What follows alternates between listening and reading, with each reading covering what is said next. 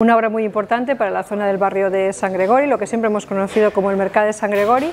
Se van a mantener en una zona muy concreta para lo que es la zona de mercado, las paradas, los puestos, pero además lo que se ha buscado es revitalizar el propio entorno. Es una zona que va a ser un espacio de usos multiculturales para hacer actividades, para hacer promociones.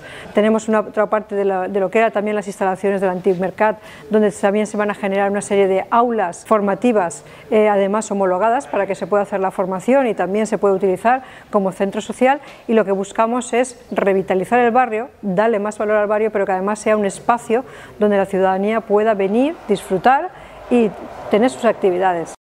Eh, estamos proyectando ya infinitas actividades que esperemos que nada más nos entreguen la obra y antes de que acabe el año los ciudadanos de Torrent y los vecinos de este barrio van a poder disfrutarlas.